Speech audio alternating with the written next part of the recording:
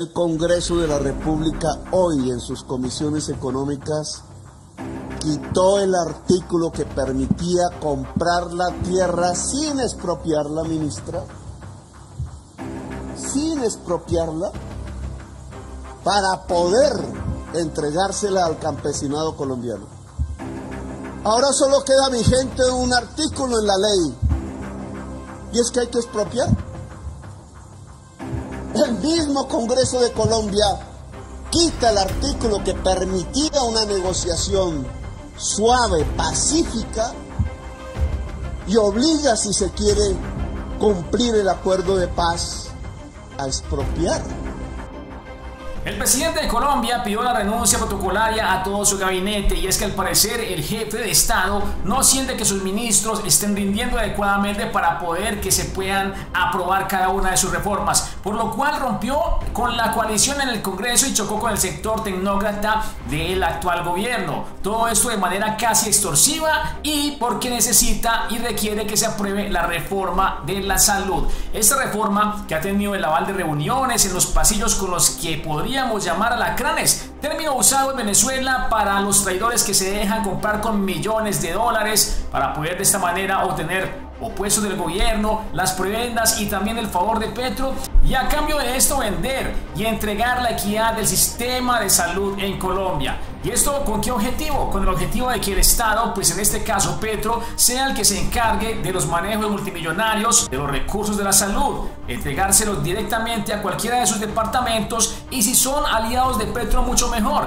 y los que no lo sean, pues no contarían tal vez con los beneficios y por supuesto las partidas presupuestales para la atención primordial de la salud en Colombia. Este tipo de recursos conllevarían a que en un futuro pueda servir a la generación de corrupción, del desfalco de los recursos del Estado y por supuesto usar los recursos de los colombianos no para invertirlos directamente en la propia atención pública de la salud, no, sino para el ejemplo, por ejemplo, de compra de votos, también para comprar más alacranes, ganar masivamente elecciones, pues tanto regionales como presidenciales, sería un tema de corrupción realmente grave para Colombia. Y finalmente, pues hacer un ciclo rotativo corrupto donde el mismo petrismo podría tener el demasiado y suficiente dinero para seguirse perpetuando en el poder. Situación que ya hemos visto cómo aplica muy bien directamente en Venezuela. Por eso tenemos que exponer a quienes como congresistas o como representantes de la Cámara de Representantes fueron elegidos por el voto del pueblo,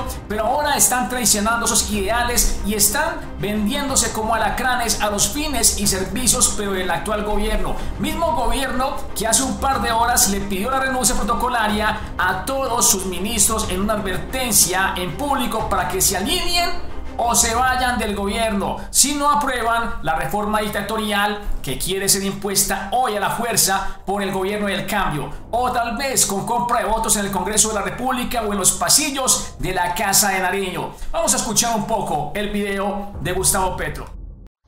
Tener un lugar en Colombia es la posibilidad de tener la paz en este país. Yo pienso que el gobierno debe declararse ya en emergencia.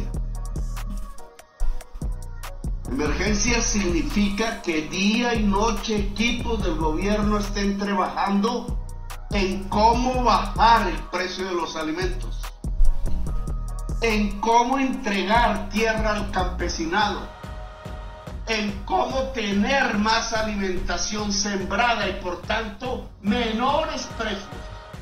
Bueno, ya llevamos más de 4 mil pesos en el aumento a la gasolina, pero eso no generó un gobierno de emergencia. Para Petro, al parecer, el gobierno de emergencia se refiere a que aprueben sus reformas o para él es una emergencia personal de que se le vayan al carajo esa reforma corrupta de la salud con la cual puede dañársele el futuro de la salud a los colombianos. ¿Qué pensará un petrista si en un futuro necesita que su mamá vaya al hospital y se la dejen morir en un hospital porque no tienen los recursos ni los equipos médicos con los cuales debió invertir? El Mesías al cual le dio su voto y confió porque supuestamente él iba a sacar del caos a Colombia. Por lo cual seguiremos entonces avanzando con esta información ya que esto nos lleva a la cantidad de lacranes que en este caso están apoyando la reforma de la salud y que están hundiendo el futuro de los colombianos. Dentro de ella podríamos vamos a hablar de la representante María Eugenia Lopera, quien pasó del reconocimiento regional en Antioquia al escrutinio nacional y al repudio nacional. Hoy el nombre de esta antioqueña de 45 años, originaria del municipio de Entre Ríos y quien es cuota política de Julián Bedoya, a quien nos da pena decir de que estudió en el colegio militar José María Córdoba en Medellín. Pues su representante María Eugenia Lopera quedó en la palestra pública tras salvar con su voto la ponencia a la controvertida reforma a la salud, en la cual por supuesto les traemos a ustedes para que vean el video de a quién se le debe el futuro de la salud en Colombia. Escuchemos. Hoy voy a dormir tranquila y cuando regreso a mi ciudad Medellín voy a mirar a mi mamá los ojos tranquila, porque lo hice a conciencia, porque esas personas que confiaron en mí en Antioquia, 87.730, les puedo decir que lo hice solo pensando en las personas de a pie, que lo hice pensando en los campesinos, que lo hice pensando en las personas que tienen que arrodillarse ante un sistema para que lo atiendan. No voy a ser más cómplice de este sistema y con tranquilidad y con conciencia he dado mi voto. Dice la señora María Eugenia Lopera que tiene la conciencia tranquila y que va a poder mirar a la mamá directamente a los ojos y decirle, mamá, tengo camioneta, tal vez. Hay que hablar de la presunción, ¿no? Mamá, tengo finca, mamá, tengo mansión, mamá, tengo yate de cuenta de los colombianos. Interesante. Hablo obviamente con la presunción, porque si decimos que así es como va a ser, no sea que uno de estos socialistas nos diga después de que realmente estamos injuriándolo. Bueno, pero te queremos avanzar, por supuesto, mis queridos amigos, en materia de información y decirle luego de lo que está ocurriendo, con quién. En este caso decimos, María Eugenia Lopera es heredera política del corrupto Julián Bedoya, quien fue voto clave para la nefasta ponencia de la reforma a la salud de la ministra Corcho y de Petro en Colombia. Pues esto, palabras puntuales del el tuitero y también político y abogado Daniel F. Briceño. Pues entonces podemos avanzar con este segmento indicándoles que el gobierno pues dice que debe declararse en emergencia, según lo escucharon ustedes de Petro, que tenga funcionarios cuyo corazón estén a favor de la gente humilde y no simplemente de ganar un salario, es más, del campesinado, mismo que hemos visto cómo defienden con honores podríamos hablar al señor Iván Mordisco, ¿sí?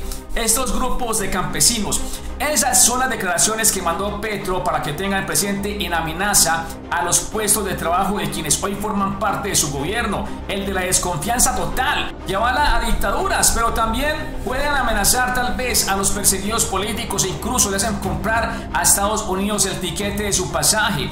Por otra parte, fuentes cercanas al presidente y de su gabinete dieron pistas sobre cuáles podrían ser los próximos cambios en el gobierno. Los principales ministros en quedar bajo amenaza son los representantes a estos partidos para que lo tengan en cuenta. Serían en este caso el de Transporte Guillermo Reyes, cuota conservadora, el de las TIC, o sea la ministra Sandra Urrutia, cuota de la U, y también la de vivienda Catalina Velasco, cuota de liberal, aunque dicen que Catalina Velasco no es que sea liberal, fue presentada como liberal, pero pertenece al pacto histórico, por lo cual ella dice que sería injusto con ella de que la estén volando de su cargo. Otra de las ministras que también podría ser bajada de su cargo sería Cecilia López, la de Agricultura, quien hace poco dijo que ojalá la echaran y quien también echó al agua a la ministra Irene Vélez con su nefasto eh, modo filosófico de querer tratar la energía del país en el declive que por ejemplo hoy tiene las acciones de Ecopetrol hundidas porque se fueron al carajo. También entonces se sumaría esta ministra Cecilia López al hoy ya retirado de su cargo ministro de la Salud Alejandro Gaviria, exministro de Educación,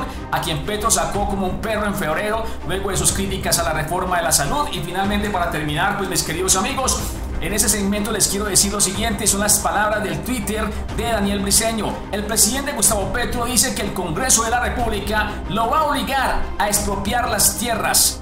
Esto para que ustedes entiendan hacia dónde va el futuro de Colombia. No, no íbamos a ser Venezuela. Hasta pronto. El Congreso de la República hoy en sus comisiones económicas quitó el artículo que permitía comprar la tierra sin expropiar la ministra sin expropiarla para poder entregársela al campesinado colombiano. Ahora solo queda vigente un artículo en la ley y es que hay que expropiar. El mismo Congreso de Colombia quita el artículo que permitía una negociación suave, pacífica, obliga si se quiere cumplir y obliga si se quiere cumplir el acuerdo de paz a expropiar.